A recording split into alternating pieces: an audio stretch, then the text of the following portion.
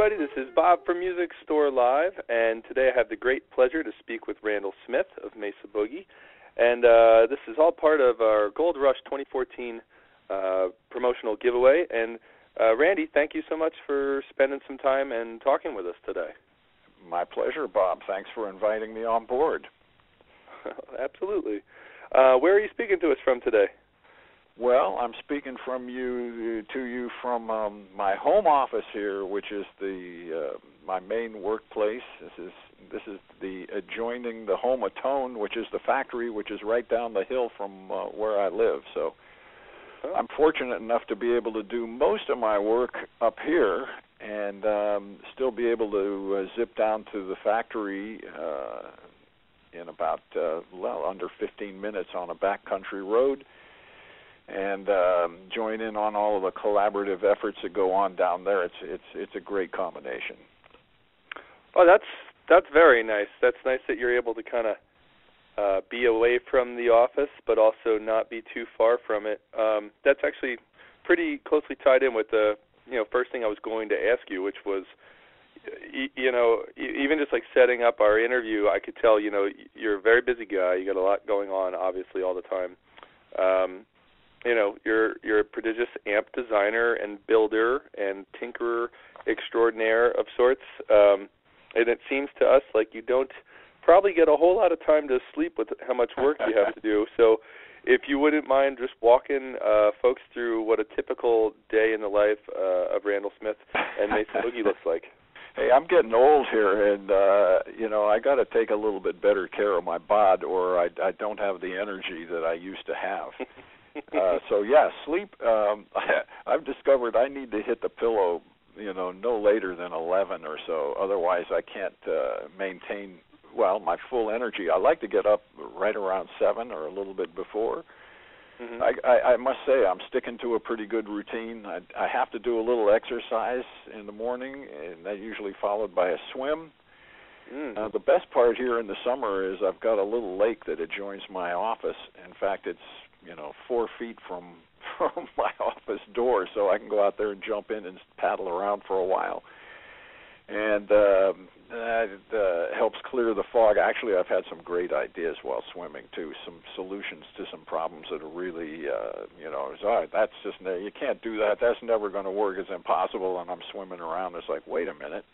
And then the light bulbs start to come on one after the other, and then I can get out and uh I think one time I didn't even bother to dry off. I had to come rushing in because I got everything right here. See, so yeah, uh, you know, there's not a great degree of separation between um, between living and work until it's time to eat. That's another thing I like to do. And uh, so um, I do pause for my three meals a day, and um, shoo, I don't know what I can tell you, but. Um, I'm really fortunate to be doing something I'm passionate about to have found something uh, in life that I really love doing.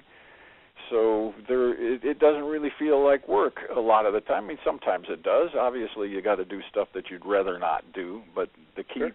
for me for that is to get out, get that stuff out of the way first, um, if you can, at least, or let it pile up until uh, it goes away by its own uh, accord because uh, I really like to stick with the creative um, side of it. Obviously, that's what's always kept me interested, and um, I'm really fortunate to have such a great crew of guys, some of whom I'm sure you know, that um, handle all the day-to-day stuff, which is enormous. It's it's it's amazing. When I go down to the factory and walk through there, it's, it's sometimes uh, you know I'm I'm I'm amazed and and almost frightened. It was like, wow, this is this is there's so much going on down here. I'm glad I'm not in charge of all of it. But they make it easy because they, you know, their line is, "Hey, boss, you keep designing them, we'll keep building them, and we'll keep selling them." And uh, you know, we just a bunch of great guys, the guys you'd you'd want to hang around with, uh, and we do, you know, when you're not at work. So yeah. once again, it's more like a band than a company. Really, is the best way to put it. So um, I had a great time when I go down there and, and uh, hang out with the guys. That's that's that's kind of what it sounds like. It, it's a real, you know, um, I mean nobody nobody does it all on their own, and you always have to have a, a great team in order to to make great things happen. And um, absolutely, you know, you you look at the history of uh, of Mesa and the amps and the amps that you know you have um conceived and designed, maybe some of them in your lake, maybe not.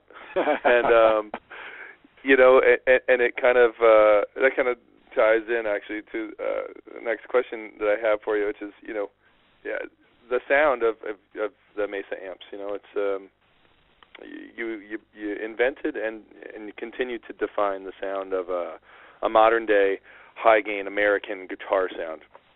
And this is um this is a sound that we hear uh a lot in modern music. You know, um when you hear a Mesa amp on a recording or if you're at a concert, you know, a lot of the time something might catch your ear and you know, I can look up and I can tell I'm going to be listening to a Mesa before my eyes hit the stage.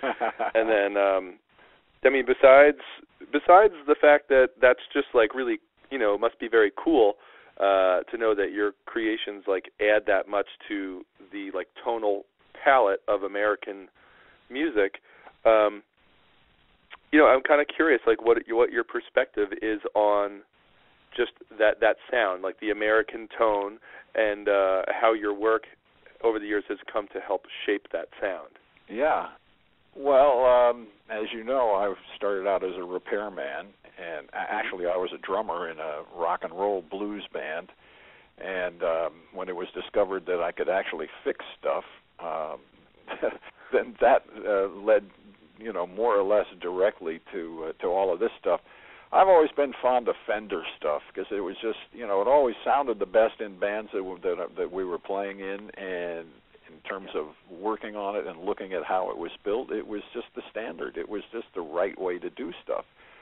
Yep. Now, having said that, I listened to all of the complaints that various musicians, uh, guitar players had. Oh, and there was one other uh, pretty pretty important development at one point in our in our in our band's career here. One of the bands it was after Clapton came and played Winterland with the brand new, you know, Marshall stacks. And so what does uh-huh. our guitar player do? He goes out and buys a freaking Marshall stack, which totally obliterated any kind of balance that we were, you know, previously able to get out of the band. Because again, he's, oh, I have to turn it up loud to get my tone. And it was like, yeah, but you're driving everybody out of the club, including us. Jeez, man. Yeah, right.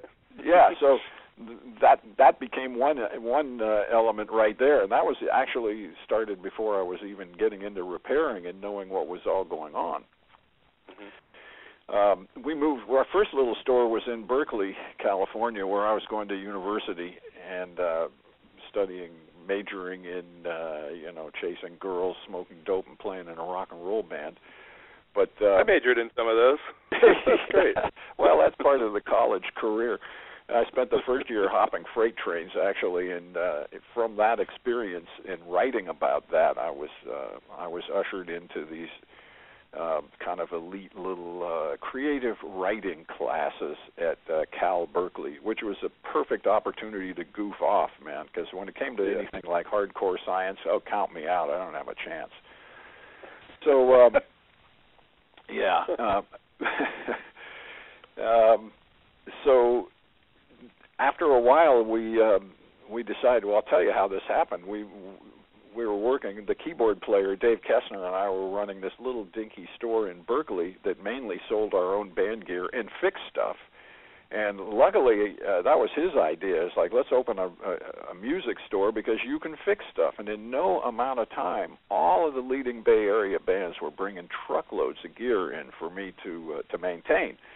Mm-hmm. And I thought it was, you know, part of my professional background that I needed to, you know, how everything worked, and that helped underscore why I liked Fender amps because if you fixed them, they'd stay fixed. That's when I came up with the the the famous hammer test too, realizing, you know, what a what a mechanical beating this stuff takes on the road. I came up with this idea, like, well, uh, and this happened when I saw the first truckload of gear from Country Joe and the Fish show up. Oh. By the way, let me tell you now. There's an uh, there's a band that has faded into obscurity, but in the day, yeah, uh, uh, they they were huge. Uh, let me see. I'm trying to think of the uh, I'm trying to think of the name of the band that that just blew my mind that opened for them. Yeah, Led Zeppelin used to open for Country Joe and the Fish. How you like that? Oh, that's that, that, that's, that's precious.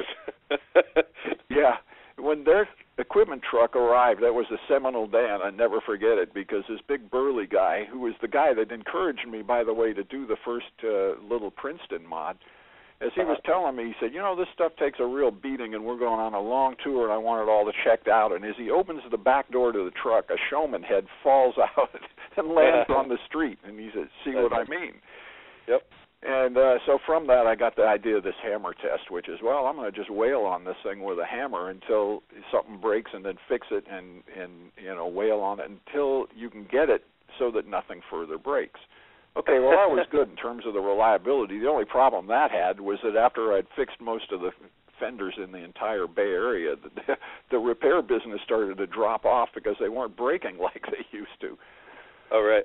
But I was listening yeah. to these guys, um, and one of them was Carlos Santana. After we moved over to Mill Valley, we got sick of all the riots in Berkeley and the tear gassing and stuff going on. Mill Valley was just a, like this peaceful little redwood charming town right across the Golden Gate Bridge from from San Francisco, and mm-hmm. um, it turned out that was a real haven. Uh, a lot of a lot of players lived in and around there, uh, including this guy named Carlos Santana, who was relatively unknown, almost completely unknown, and he was just one of the guys that hung around at our Prune Music because it was a you know it was a social club as much as it was a music store maybe more actually sure and uh he kept telling you know he he, he kept saying, "Man, I need to get more sustain out of my amps. I, I, I need to be able to play a note and have it hold and ring out."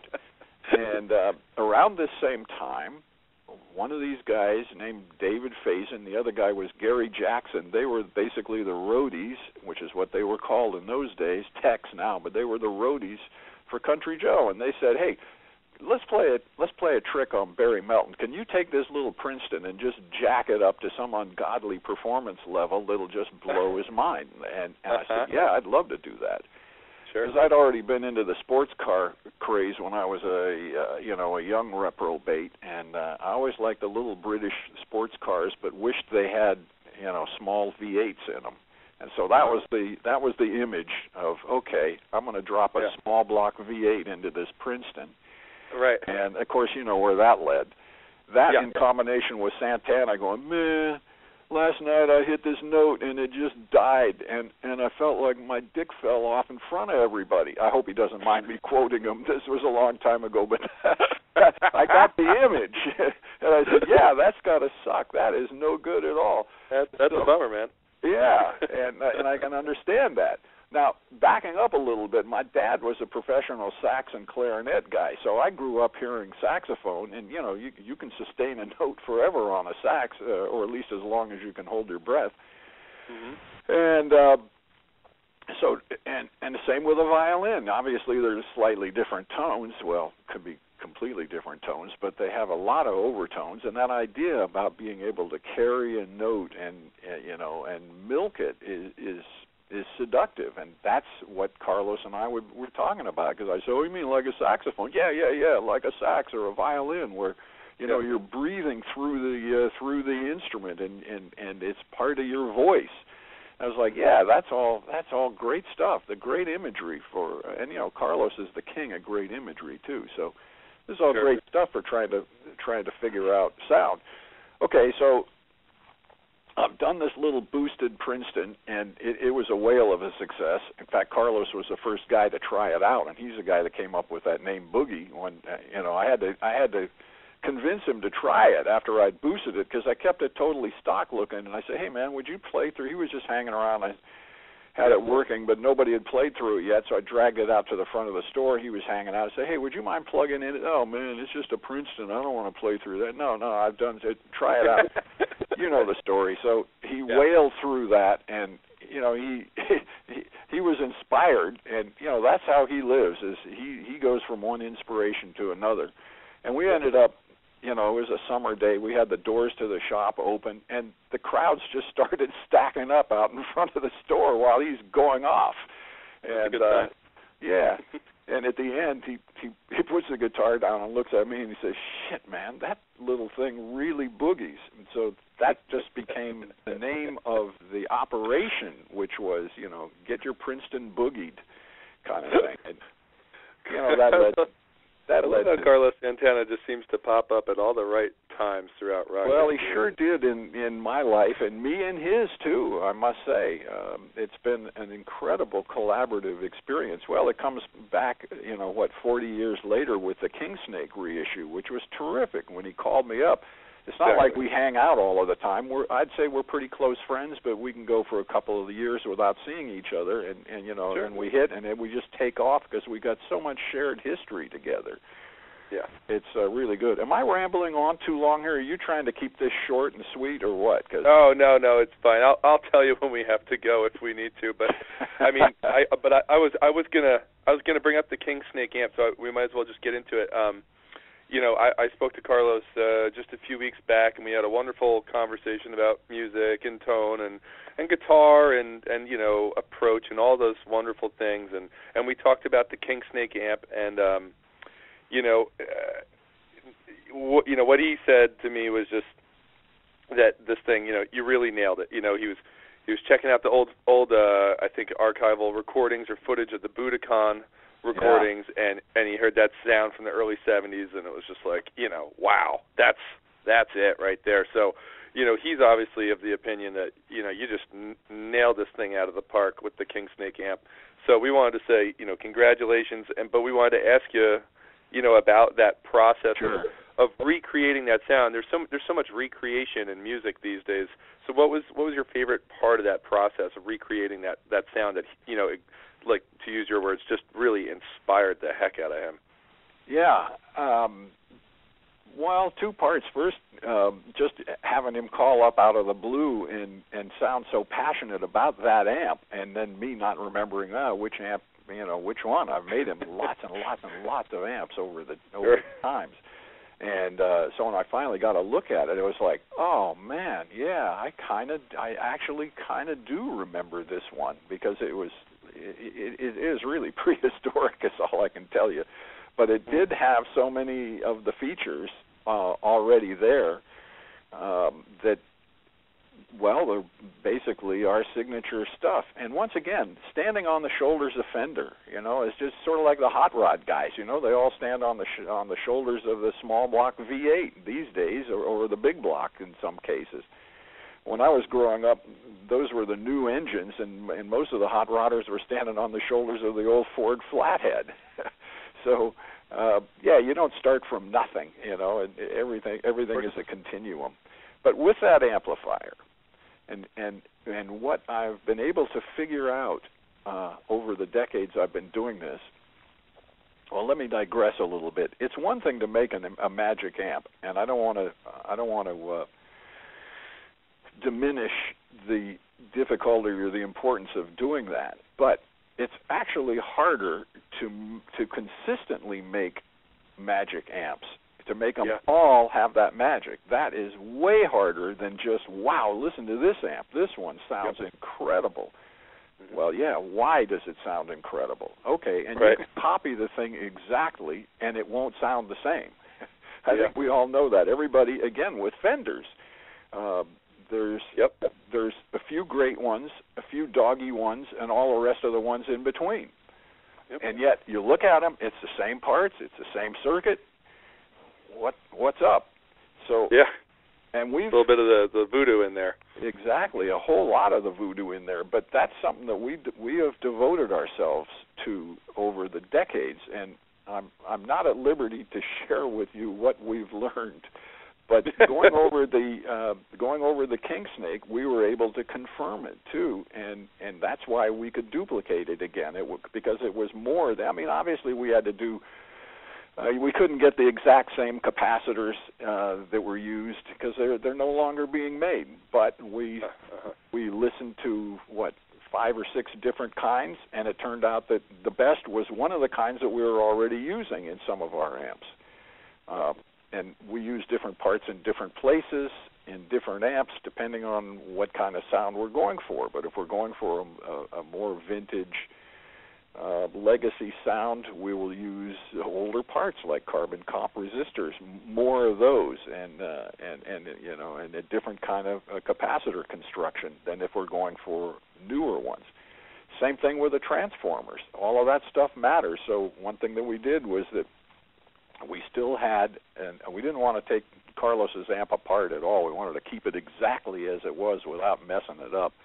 Oh, good. Uh, of course, and uh, as the reference, but we had another transformer just like it, and we basically had it blueprinted by our transformer engineer, and uh, he was able to actually get it to comply with the modern safety codes while keeping it exactly the same, which was a really good thing. They just have some increase about creepage spaces and stuff like that that have to do with uh, uh safety, you know, bullshit mostly. You know, it's stuff that really seems like it to me. Um, but you know, because a lot of these safety uh, regulations emanate from Europe, the famous IEC 60065, and they they just go overboard. They don't even want you using transformers like we have that that are paper core, paper paper insulation and all that, but you got to do that to get it to sound right. They want it to be nylon and Delrin and and on coil forms and uh, you know all of this stuff where it you, you just can't get it if you build it that way. Yeah. So uh, yeah, that's why we like working with this guy because he knows what we're all about and he's willing to make dozens of samples with incremental tiny changes, you know, along the way so that we can evaluate them all and uh, and and so he was able to reproduce this without without um without having to deviate too much from the original structure of this transformer. Yeah, yeah. He he he may have just falsified the records for all I know. I don't want to ask him too much, but you know, he signed off on it and that's all we needed. No, I'm sure he did it right. He's a he's a I'm he's sure a professional perfectly engineer. safe. His, yeah, his license would be on the line if he didn't. But uh you know, and and bear in mind that the original transformer was UL approved anyway. There, there was never any. It's not like this is a dangerous thing ready to burst into flames and electrocute you.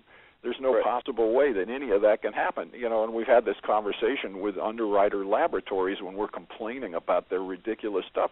I said, okay, show me how it's possible to either start a fire or get a shock from this.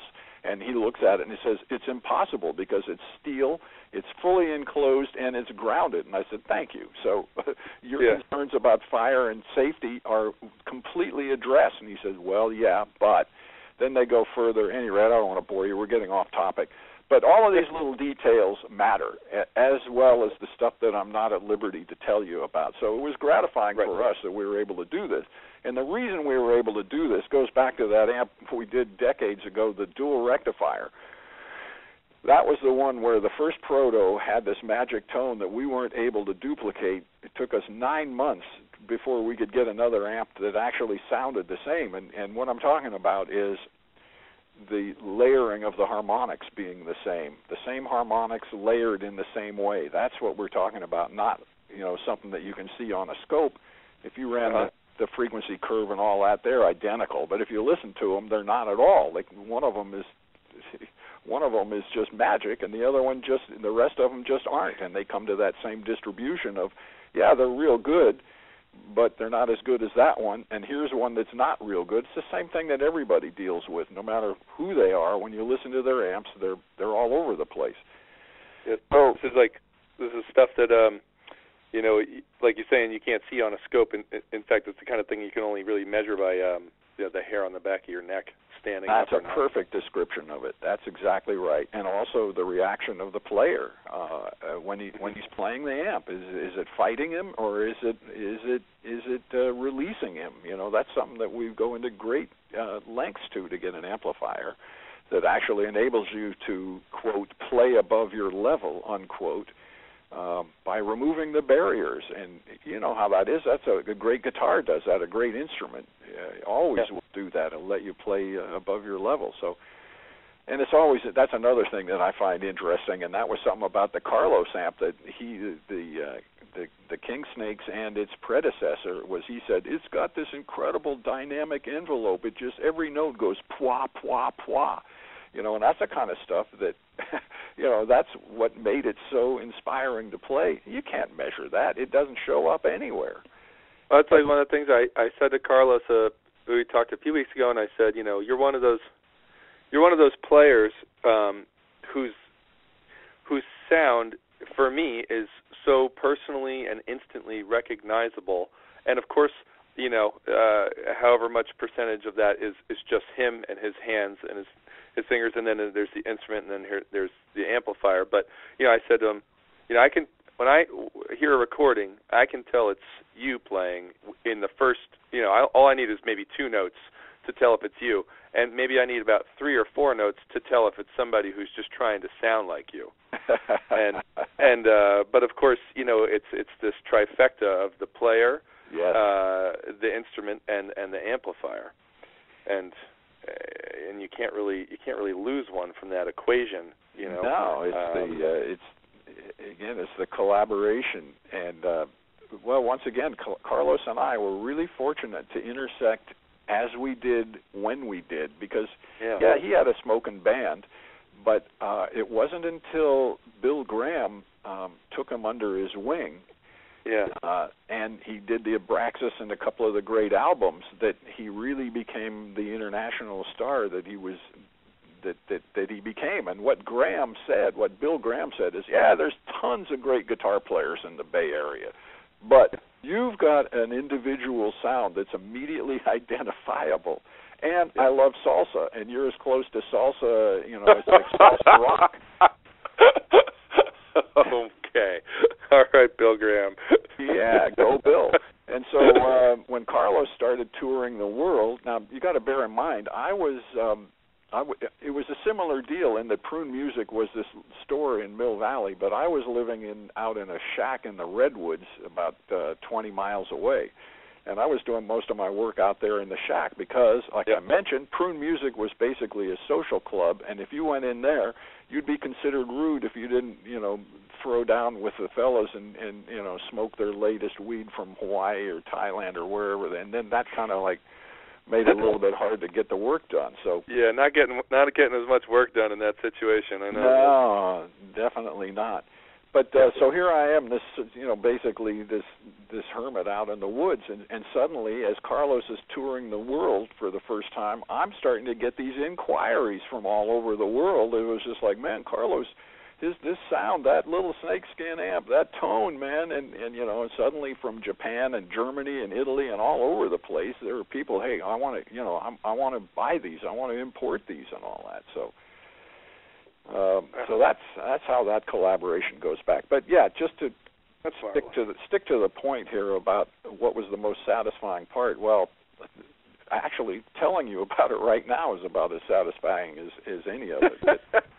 going back. Well, I mean, it, I, I'm sure it's it's got to be hard to put your finger on just one thing because it's it's such a marvelous process that it, you know it started, you know, back then and and just continues to you know inf- inform your work and and add to it. You know, so it's it's what a wonderful process it is. I'm sure to just re- kind of regale. Oh, it's gratifying. Yeah, it's it's um, it's really yeah, it's it's truly rich and cool. I'm blessed. Well, let me let me uh well change gears only slightly just for a moment. Now, I as I understand it, you know, and, and most people know this, maybe not everyone, uh that you know, you grew up not playing the guitar but but playing saxophone and piano. And um I'm kind of well, I don't really want to, you know, necessarily a- ask you about, you know, your earliest years of playing music necessarily, but I do want to know about you know the earlier guitar sounds that turned you on, or if it was a favorite amp design. But more so, I'd, I'd rather kind of focus on um, what uh, kind of music would you say, or it doesn't have to be music, but sounds, you know, that you encounter in the world uh, most influence your kind of concept about tone and, you know, lend themselves into your building process. Um, it's kind of um, polar opposites here because on the one hand, again, like you mentioned, my background is acoustic instruments. Yeah. Um, this is funny. My dad didn't consider guitar, particularly electric guitar, a legitimate instrument. he, he just didn't get it. it, it you know, I, he he was from another era. Let's just put it that way. Where guitar, sure. you know, if there was a guitar, it was a guy just banging out rhythm in the background. It certainly wasn't yep. anything like blues or rock and he was a he was an educated professional musician you know well schooled and all of that. So he just had a whole different outlook to it. Having said that, the acoustic sounds were what I kind of grew up with, and and he introduced me to jazz at an early age, and it's never it's never gone away. So one of the things uh, that that I've that's always um, resonated deepest with me is, is acoustic jazz from the uh, from the 50s and, and uh, early 60s, largely. Yeah. yeah. How do you combine that with guitar? Well, um, you know, one of the things that makes guitar so interesting is the amplifier because it's the amplifier that determines what sort of style of music the guitar is producing. And as you know, it can be everything from sitting around the campfire, uh, like uh, playing uh, and country music coming from that, um, all the way up to the heaviest, hardest core metal and industrial sounds. I get a kick out of all of them, to tell you the truth. If they're if they're well done, they all make me smile and grin. If it's just badass, and one of the other tones, now the total opposite of the organic vocal tone that we this is one of them we we strive to achieve again santana. It's almost like that saxophone vocal singing crying wailing tone. But another another one that i really go for is extreme machinery dragster motors. A, a big oh. Ah. v8 a big v8 dragster motor or even a smaller v8 uh, there is an overtone on the good old American V8 that is just killing, and and I don't know if it's a if it's an open fifth like a power chord. I believe it is because that's what it sounds like. Okay. And um, it's just mighty. That's all you can say. Is it's just um, and so I, I can go from one end of this really delicate vocal, intimate sound to the shit, man this is this is like nuclear holocaust over Manhattan, man, and that just that lights me up just as much to you know to put this stuff together. And I feel almost like that guy, uh, you know, the, at the at the at the drags who who can tune those motors and get them to just so it's just a controlled explosion, you know, basically. And I feel the same way about the amps when you when you hear a guy that's really, you know, Metallica guys or Petrucci, he was hanging around, and and man, these guys. The, the sounds they get out of the amp are just you know, they're so cool. You can't help but love them. And it was just like, so basically, what I've done is I've just I've just offered these tools out. It's those guys that have figured out how to use them and how to make them have those sounds. And then I listen to them more and listen to where the sounds go, and um, you know, just sort of keep pushing it forward. But um, uh, it's it's the players that have figured out how to make the sounds out of the amplifiers. Well, not, not me you know. I'm I'm not I'm not I guess I thought I had an inkling that it would come back to um something that was more informed for you uh from an acoustic basis, you know, given given your background because or and I or I had an inkling that it was going to come back to um a very present kind of harmonic overtone structure. Yes, it so does. I, that, it does. I, you know, and and you, it's it's you can really hear that off of an acoustic saxophone. You can hear that off of the right singer's voice, and like you're saying, like off some some heavy duty engines that are out there. Um, that's one of those kind of things that a lot a lot of different uh, sound sources share is when they put out the right set of overtones. You know, it's, it's yes. that hair on the back of the neck test that you you can feel, and that that's really that's really cool to know that that's kind of what. Oh man, I tell you what, forming the, your process. Oh, John Petrucci spent a day hanging around with us, um, uh, and we were just to listen to him play through this stuff. And he would do exactly what both you and I are trying to describe. He he could play the most inside, intimate, um, totally pristine, clean. It sounded like this should be happening in church, and then it could just go into the heaviest sound. And I remember he even said, he said now, if that isn't the heaviest sound you ever heard, then you need to learn some new licks, you know. And I, I just thought that, and and he seamlessly did it. It it wasn't like you know, on the one hand he was making love, and then the next time you know it was it was a street fight or a, or a car wreck or an explosion. No, he did it Uh-huh. seamlessly, stylistically, so that musically it it was it, it just you know we were all floored. We were just going, man, John, jeez, get down, buddy it was so cool, man. So yeah, huge satisfaction. But again, he he he was able to take both of those extremes and and play the entire continuum from the most vocal like you know your lover woman you know whispering in your ear to just this colossal raging just explosive sound. And, and it was just it was wonderful. Ah the same amp same guitar.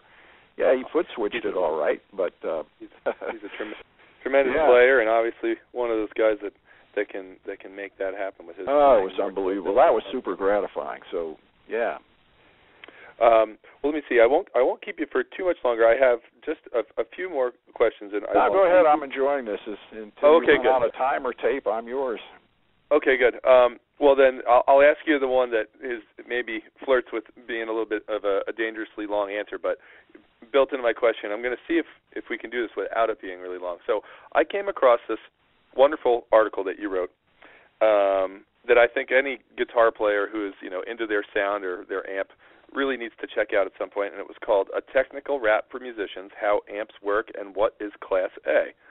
And um, in this article, you speak in uh, very great detail about uh, a lot of different things that have to do with with amplifiers, and there is a, a very nice commentary about single-ended amps versus push-pull amps. Now, what I'm going to say to you is that you know I'm going to quote Leonardo da Vinci, uh, who said, "Simplicity is the ultimate sophistication." Absolutely And right. I'm I'm wondering if if you would would take a stab at telling the, the listeners in uh, the simplest language that that you can boil it down to the the big difference between single-ended amps and a push-pull amp. I'm glad you read that booklet because what you oh, I got to just read it asked- again. yeah, what you just you, you, what you just asked me uh, is what I was asked, and that's what directly resulted in my spending a long time writing that that book because uh, you know to to get an answer to answer that with any exactitude and any depth really predispose uh, pre-assumes that you that you that uh, the reader understands a whole lot. And it's a whole lot of stuff that's taken me all my life to really understand. And it helped me to understand it better but by trying to explain it there I'll see if I can make it real short because I agree with Leonardo but that book was my attempt to make it real short. But as you say one thing you realize yeah but you have to explain what that is. Oh then you have to explain well then you have to explain what the difference is between voltage and current because most people are unsure of that. Uh, and and so it just keeps backing up until you have enough background knowledge to be able to understand what it is. Yeah. one way to look at it is it's single ended versus push pull in push pull, the signal is split into two different halves that are out of phase with one another. And of course, then it's recombined in the output transformer to be a single ended signal again because it needs to feed the speaker, which only has two wires. I mean, the one way to look at it is two wires or three wires. There's only two wires on a guitar pickup, right? And a guitar cord. There's a ground and there's the hot. Speaker, same thing. There's a ground and they're hot. If you have a single-ended amplifier, it stays that way from start to finish. There's only the signal and the ground.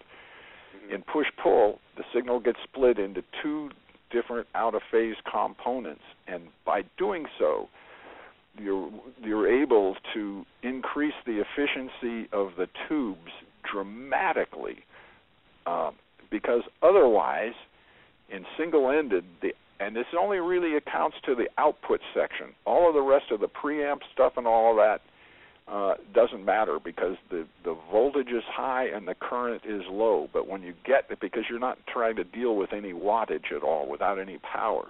When you're trying to actually deliver power to to make a speaker get loud enough to hear, then then efficiency becomes a primary uh, goal. And if an amplifier stays single-ended, then it's forced to operate Class A. And what that basically means simply is that it's on all of the time, and that the best that it can achieve, achieve is that most of the most of the power is being consumed and wasted in heat and not turning into into audio sound. Yeah. And that's because right. again the current ha- a lot of current has to flow all of the time. Now when you put it into push pull, you can you can overcome that limitation and you can cut the current that has to flow through the tubes at idle way down. That enables you to put to increase the voltage way up without melting the tubes and that enables you to get a whole lot more power. That's why that that's that's that's what it's all about. Is that right any clearer? Um, yeah, I mean, I, I, I feel like for me, I, I, I was was grasping about that same understanding. I, I felt like it would be a fun one to throw out there to to see how somebody who is so steeped in the amplifier design and building process, you know, if you're asked to boil something as complex as that topic down, you know, how how can you do it? You know, it's because like you said, you have you can continuously feel the need to just keep backing it up because it's it's a lot of information that goes behind that. But what what I'm I suppose I'm getting into after that is I wonder if uh, to your ear, you know, if you have much of a preference or uh, between single end the sound of a single ended amp or a push pull amp, if you have either a preference or uh, something to say about the the quality of the sound of, of those amps the difference between them? Well, so much of it, in, uh, there's so much more to it than than just the uh, output tube configuration. I'd have to say, on balance, probably my preference would would be push pull, uh, yep. because it takes you, you need to have ample power to be able to deliver good sound, and right. and uh, it's just too hard to get ample power out of single ended. It's just too hard to do. Now, some of the most esoteric, high-end audiophile stuff has come around to, you know, at least when I was looking at this about 10 years ago, to to some single-ended stuff, and they're they're juicing about oh the purity and all of this, and yeah, I'm sure there's something to it, but once again, they're up with that thing where the amps cost like five thousand dollars, and they put out 20 watts, and yeah. and you know, and so the you you come up the uh, the practicality has to be figured into it at one point seems yeah. to me so um and uh you know like i say you can within either either single ended or push pull there's such a variety of of ways that it can be done and has been done that some are better than others and some are wonderful sure. and others aren't in both in both cases so what's your preference yeah. nah not yeah, it may be it may be a, a slightly unfair question because of how many other variables are actually, um, you know, woven into the final product of any. Yeah, I'd say 95% of all the amps that you've ever heard are are push pull load. Hardly. I oh mean, yeah. Even when you get down to little Supros and all of those, almost all of them are push pull. You have to get yeah. down to a little little champ or something like that with one six V six to get something that's single ended. Yeah. Now we've done that with uh, one of our patented uh, designs. this is one of the things that came up from swimming too. When when I was talking to Steve oh, Mueller about uh, you know our Lone Star Special, I was talking about yeah, you know we'll we'll make it four tubes switchable down to two tubes, mm-hmm. and uh, he said, oh yeah, but man, and which is something we pioneered a long time ago. And he said, well God, it'd be so cool if you could switch it down to one tube. And then I told, yeah. I went off on this whole riff. Well, you can't do that because it, it requires a completely different iron configuration for the output transformer. Whereas for single-ended, you, you think of a horseshoe magnet. The the uh, the transformer needs to have a gap in the iron core, but for push-pull, you don't want that gap because it won't have any low end. But because push-pull has these two out-of-phase components going simultaneously, it doesn't need that. It doesn't. It won't saturate magnetically because one side is always canceling out the other side in terms of magnetic saturation. So I give him this whole riff about how it's impossible to go from a two tube to a one tube, and then I'm swimming and I went, but wait a minute, this was a real light came on what if you just tricked the transformer in, into thinking that the other tube was still there, even if it wasn't conducting any signal? And I literally jumped out wet and tried it, and and it seemed to work because I could. Sit I hope there. you dried off first before you plugged anything in. I think I did dry off first. Okay. And I and again I ran it by the transformer guy, and he went, "Hmm, wow, well, yeah, I don't see why that wouldn't work." And I said, "It seems to because." When I don't have the the dummy tube hanging out there, it doesn't work for shit. But when this other tube is there, even though it's not doing anything audio, then it it fixes the transformer problem and it works good. And and so I ended up getting a patent on that, and it, it's one of the cool things. Um, and it's in the King Snake too. When you want to turn the power way down into that 10 yeah. watt position, that's single ended, and it, it sounds re- it sounds really good, and it does give you this. It's an alternate sound, you know, whether it's what you want or not. That's uh, you know yeah. that's a matter of taste, but it's a good sound. Matter of that's fact, very... it's the sound that when Carlos was up in our tone lounge uh auditioning one of these protos he was playing through that and he didn't realize he was he, the thing was switched down to the 10 watt mode and he was going off and he was oh man that that that's so cool and, and then his guy Stubby he said yeah wrap it up we'll take it and Carlos said don't wrap it we're going to eat it here Which I thought was and then I said, "Well, man, you want to hear it on the 60 watt and the 100 watt position?" He said, "Man, wasn't that?" And I said, "No, no, that was this 10 watt. That's something that the old your old original amp did not have. But when, when right, we yeah. switch it to 60 or 100, then it goes exactly like your old amp. So, uh, so it must yeah. be a, a fairly screaming volume at 10 watts then. Oh yeah, because you know, uh, first of all, the 10 watts is uh, somewhere around where it begins to clip, but that's one of the characteristics of single-ended and Class A is that the clip comes on so gently that it has its own uh, overtone sequence. Now, this is one of the things about push-pull. Remember me saying that you got these two out of phase uh, halves. Well, that turns out to be one of the big measured virtues of push pull is that not only do you get this tremendous increase in efficiency and power, but you also get this great reduction in distortion because the even order components tend to cancel each other out.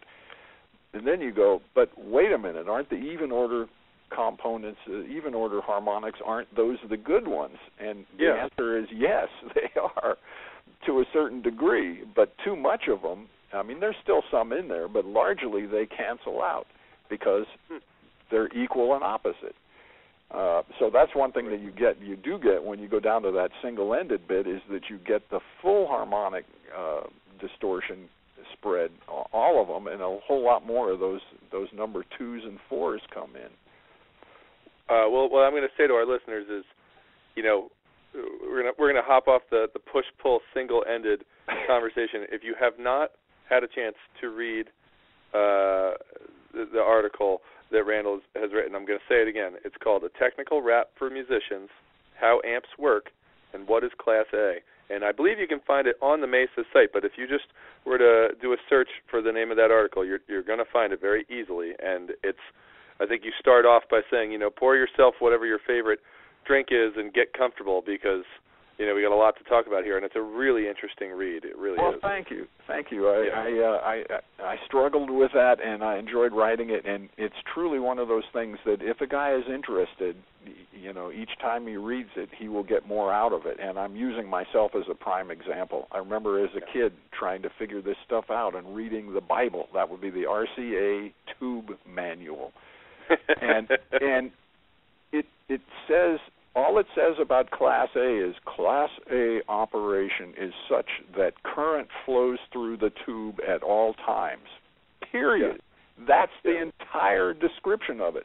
So it's both completely simple and yet it's completely evasive because that you know that goes back to what I was saying. is just like what that I can repeat that, but I don't think I understand all of that. And you have to put it all into context and blah blah blah blah blah. It goes Yeah, on yeah. and on. So yeah, I basically took that one sentence and expanded it into about 20 pages, which is what that article is. And it's accompanied by some hand-drawn illustrations that I think help the player understand because it starts off with a picture of a string vibrating, and that string vibration is almost identical to what an oscilloscope waveform looks like when you're looking at voltage. So I tried to make it so that guitar players can relate to it without having any technical background at all.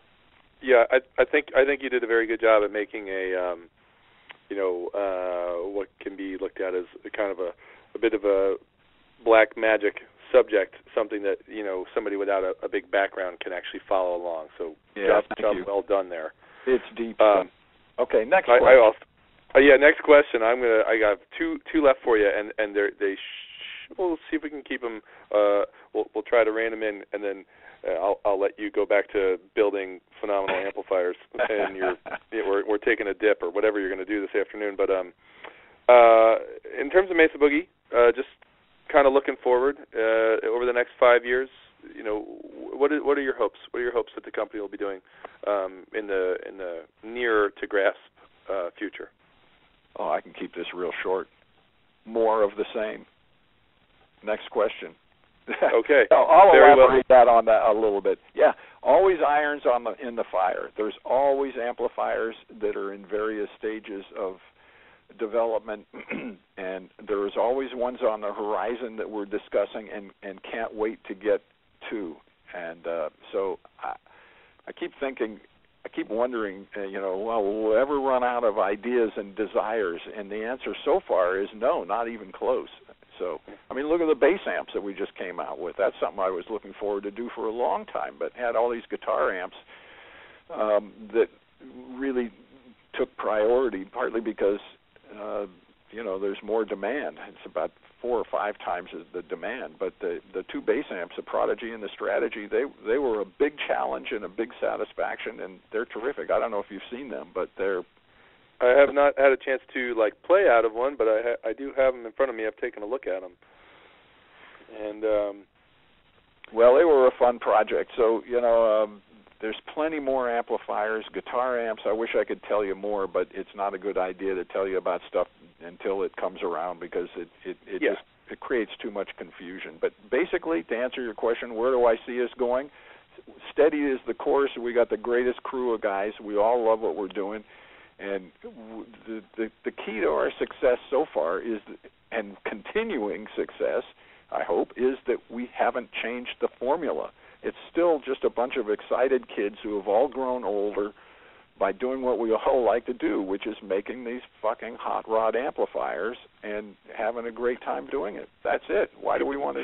There is no desire to to go play golf with a banker and get a big loan and have a factory in in Korea or something like that. The last thing we want to do. well, that's awesome. Then don't change a thing. That sounds like you've got a pretty you got you got your uh, your formula really well dialed in there, and I, I wouldn't want to hear that you're going to mess with that. Not Then, at um, all. All right. Well, Randy, I'm going to leave you with um, one more question. We're asking everybody this one at the end of uh, the interview. We've gotten to ask it to some really wonderful players uh, over the past few weeks as part of the Gold Rush promotion, and it was particularly very, very fun to ask Carlos this question. But I was just going to throw this out there one to you. What is music? What is music to Randall Smith? Oh man, I don't want to make this a long one, but my first cognizant um, memories as a kid, as a baby, lying in the cradle, were of my father playing his saxophone. Followed by my sister, who was five years older and was a bit of a piano prodigy, by her playing, you know, piano, and she was p- playing all of the classic piano stuff that a student would play, which is great stuff the the Beethoven sonatas and the you know Mozart and all all of the stuff that you know they're they're all just timeless classics because they they just work so well together. I mean they're they're just brilliant compositions. So it starts from there, you know. Uh, so I played sax and clarinet and flute and drums, and I've loved them all. They all have a they all they all are fun. They all uh, enable you to explore a different part of your psyche and and and plumb different emotions. Piano and, and B3. I don't play my B3 that much anymore, but I sure do like playing my piano. I just like it feels good, man, and and you know I feel like I'm I'm able to share a little bit of what these icons like Bill Evans and Red Garland, man, you hear them, you hear their touch, and you hear their harmonic concepts, and you hear the ideas that these guys have got, and you just go, that is just sheer brilliance, you know, and ju- just to be able to scratch the surface and, and pull the curtain back a little bit and see what those guys who have devoted their life to it and their stellar, you know, talents at it. Um, it it it's a great feeling, you know. You know, every, anybody that plays music, I don't have to explain to to them what what the feeling is, and uh, so that's it. You know, I mean, it's a way to indulge all your emotions. And whichever ones you want, from blues to uh, to to sad to happy, uh, and and uh, man, it's just fun. Whether you're playing with your uh, with a with a bunch of mates and and banging it out, or uh, whether you're just exploring on your own, it's it's just a great it's a great artistic pastime. And you know what? I am truly blessed and fortunate to be able to do something that I love doing that hasn't gotten obsolete yet, like so many things do so quickly these days. Yeah. Uh, that that is satisfying and it provides a really good living for me and all of the mates down at the uh, at the club and the Tone Lounge down there, and is intimately related to music. I I couldn't be luckier, man. I I I, I wish everybody had the opportunities that I've been able to, you know, basically wander blindly into, and that that's pretty much how it happened. There was no plan; it's just happened. So. Well, I'm glad you've had all those opportunities myself because it's it's been a, it's a wonderful thing to have a chance to to talk to you about all these things today. But it's it's a wonderful thing um your your contribution over the years to to music and to all the things that you know we as guitar players enjoy and we we love geeking out about and and it becomes such a big part of uh our own artistic expression in our own worlds no matter what kind of music or whatever we do so you know, on, on behalf of every, every, you know, players everywhere that have, you know, experienced your your work. Thank you very much for all of your your hard work and all of your great designs, and, and thanks very much for speaking with us today.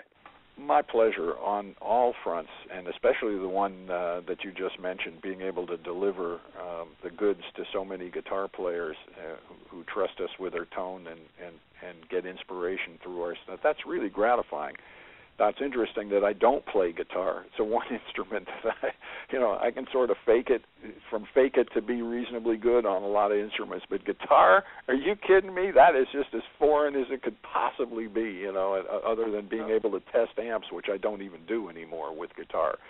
I I, I can't play music out of out of out of out of. Uh, so the the point is that it's extremely gratifying for me as an amp man to to hear that I'm making guitar players happy because I don't get the opportunity to play my own creations. It's the one thing that's kind of interesting. well, I think I think you're in pretty good company with uh, you know people like Leo Fender in that regard. So Well, that's true. That's a good point. He didn't play either, did he? No, I mean I think you guys are very, you know, you're cut from a very similar cloth. You you both came from an electronic repair background and and then you know it it it turned into you know knowing so much about what it was you had on your hands to improving upon the designs that were available to you and then just pushing it all way forward in your own way. It's a so, great American story, Leo's and mine, and I give thanks every day that uh, that it's turned out this way. So thank you for for all your kind words and the the job that you guys do representing us. We appreciate it, and um, yeah. my my sincere gratitude to all of the guitar players everywhere, whether they use our stuff or if they're happy with the other guy's stuff, stick with it. If they try our stuff and like it better, wonderful. So thank you, thank you, Bob. Thank you again. Oh yeah, absolutely. Thanks very much for your time today, Randy, and um, Gold Rush uh, participants and uh, contest entrants, thanks a lot for listening, and uh, we wish everybody luck and hope you all win very big and uh, enjoy the rest of your summer. Thank you very much. Take okay. care. Bye bye. Yeah, you too. Take care.